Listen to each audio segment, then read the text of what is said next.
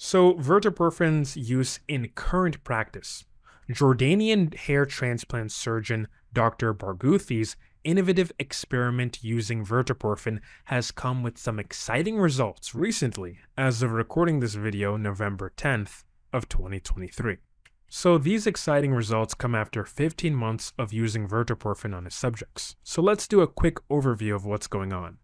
The recent developments in the application of verteporfin for hair restoration, particularly the follicular unit extraction and the follicular unit transplantation procedures, have marked a significant milestone in the field, with the latest update from Dr. Barghouthi showcasing 15 month results of ongoing trials with verteporfin, the medical community has observed a substantial leap forward in the potential of this treatment. These findings, disseminated through the Hair Restoration Network forums, underscore verteporfin's promising role in improving hair transplant outcomes.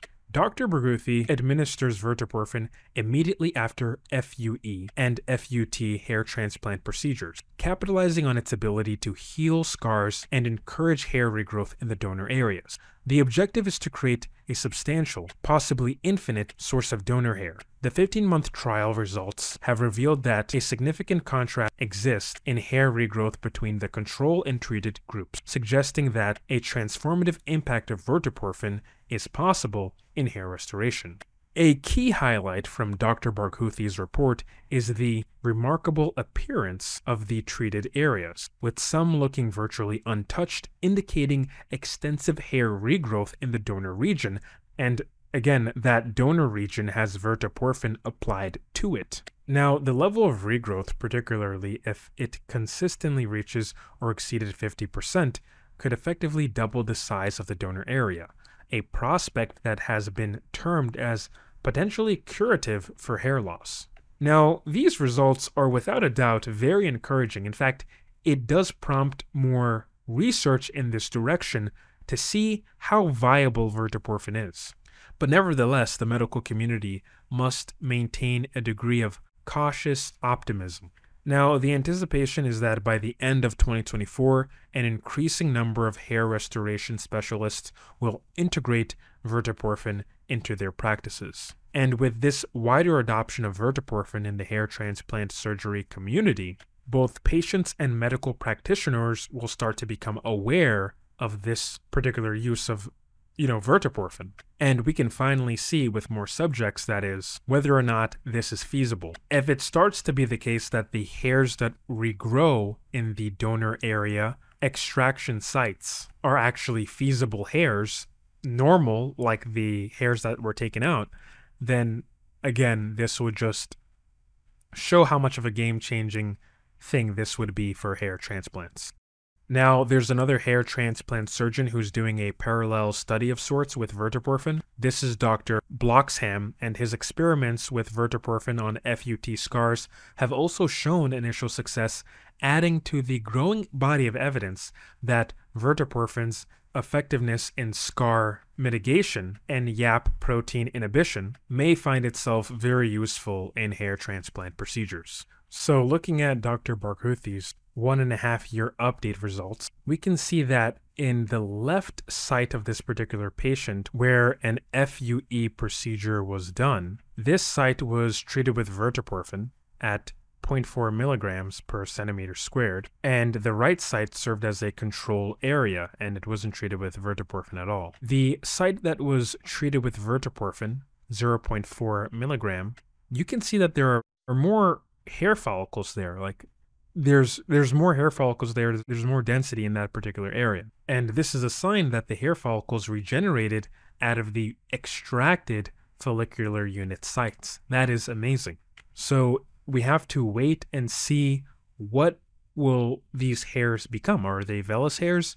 And I don't think they're vellus hairs at all because I'm looking at the hairs themselves right now.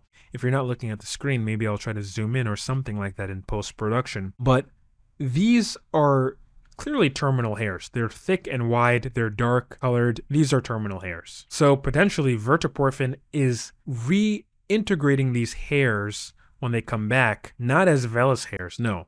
as strong terminal hairs, which is good for us because that's what we care about. Up close, you can see the difference between the control region and the test region. And guys, it's night and day in terms of difference. The test region, where 0.4 milligram of verteporfin was applied immediately after extraction of follicular unit extraction, you can see in that area there's more hair follicles versus in the other area you can see clear scar tissue that remains. You don't see any hair follicles coming out of those particular areas. This is exciting. This is very exciting. Looking at Dr. Bloxham's trial of verteporfin, we can see the same thing, right? You have this patient who's been treated with a particular dose of verteporfin and in that particular area hair is coming about it's coming out. You know this is pretty exciting. There's minimal scarring that's taking place and this goes to show that yes we are getting new hair that's coming out of these particular donor areas.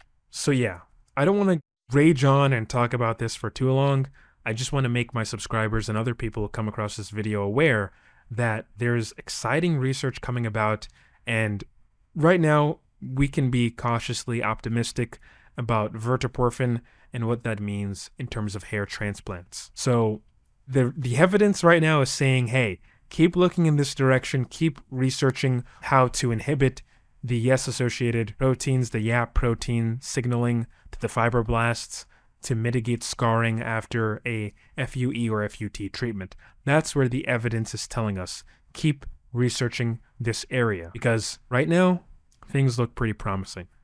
Anyway guys, thanks for watching this video and remember if you want to support this channel you can look at my buy me a coffee link or become a channel member for as little as $2 a month and I do do hair loss consultation services if you want to request my non clinical experience and what I would do in a situation like yours. So anyway, thanks for watching this video and I hope to see you guys in the next one. Peace out.